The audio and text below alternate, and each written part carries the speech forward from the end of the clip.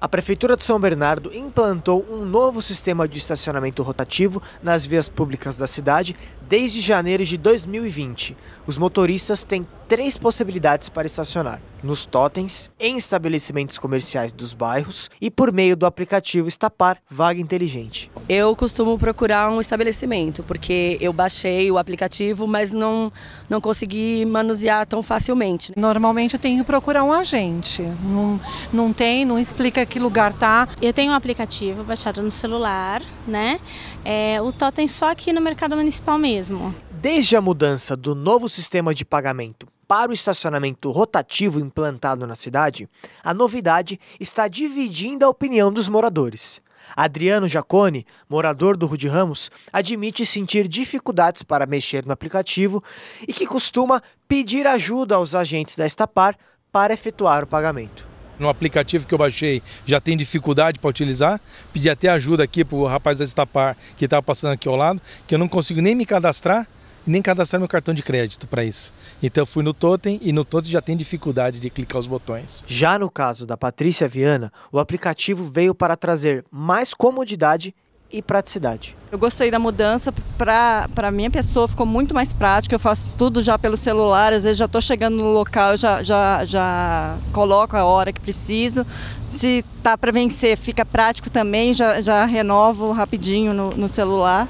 A partir de agora, há uma mudança importante e que está gerando confusão.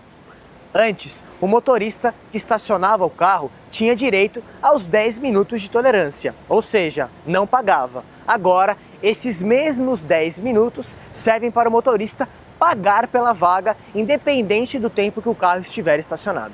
O subprefeito do Rude Ramos, Afonso Torres, explica qual procedimento deve ser feito pelo motorista ao estacionar na vaga rotativa.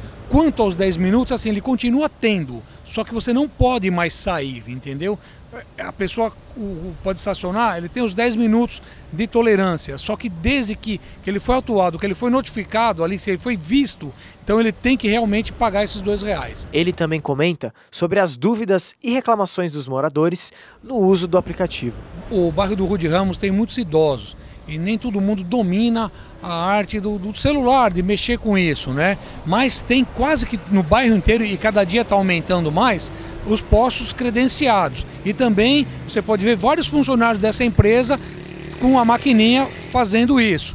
No celular, no aplicativo, ainda eu vi alguma dificuldade, mas isso vai ser sanado a curto prazo. Para comprar os créditos no aplicativo Vaga Inteligente da Estapar, é necessário passar por algumas etapas, como cadastramento e criação de login e senha para o acesso no aplicativo, depois, cadastrar o cartão de crédito e dados pessoais, adicionar os créditos no aplicativo para efetuar o pagamento, selecionar a cidade e adicionar a placa do veículo, definir o tempo que irá ocupar a vaga. Por fim, finalizar a compra. Vale lembrar que o valor da Zona Azul Digital continua o mesmo, R$ 2,00 por uma hora e R$ 4,00 por duas horas. O horário de cobrança dos estacionamentos é de segunda a sexta-feira, das 8 horas da manhã às 6 da tarde, e aos sábados, das 8 da manhã às 2 da tarde.